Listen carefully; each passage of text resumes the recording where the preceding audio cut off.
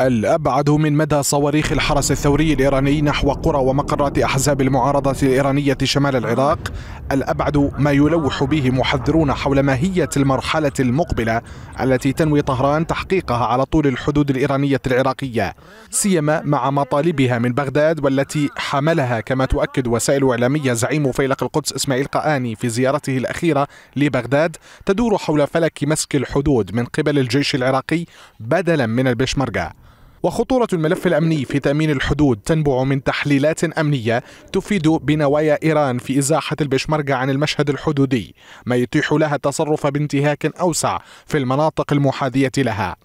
وبعيدا عن ردود فعل بغداد الرسمية التي جاءت بالإعلان عن تنفيذ أربع نقاط في خطة إعادة نشر القوات الأمنية على الشريط الحدودي تتحدث الخبرة العسكرية بلغة التحذير لما لقرار استبدال البشمركة من فرصة لإتاحة الانتهاكات الأمنية الإيرانية أو التركية على حد سواء. سيما أن البشمركة الأكثر ضلوعا في معرفة طبيعة وجغرافية وديمغرافية السكان المقيمين في المناطق القريبة من الحدود. حتى وإن كان منهم المعارضون للنظام الإيراني من الأحزاب الكردية المستهدفة أو تلك التي تتعرض للقصف الإيراني المستمر.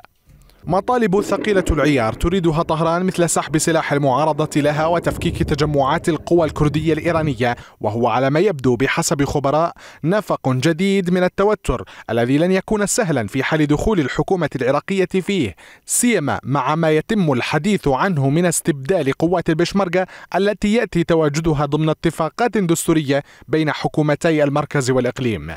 فيما الحكومة المركزية التي تؤكد الانتشار العسكري ضمن خطة محكمة تحتاج إلى جهود دبلوماسية لفرض سيادة البلاد أمام الانتهاكات والمبررات الإيرانية والتركية على حد سواء والتي ظهرت في الهجمات الأخيرة بما يعني تعاملا أحادي الجانب.